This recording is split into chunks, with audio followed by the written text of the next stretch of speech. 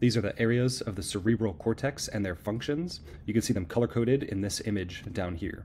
Let's go through them. The prefrontal cortex is for concentration, higher cognitive functions, and short-term memory. The premotor cortex is for control of axial and proximal muscles, and it communicates with the primary motor cortex before execution of muscles. The primary motor cortex is here. This controls your ability to voluntarily move muscles according to the position on the homunculus. The primary sensory cortex also has a homunculus and it senses stimuli.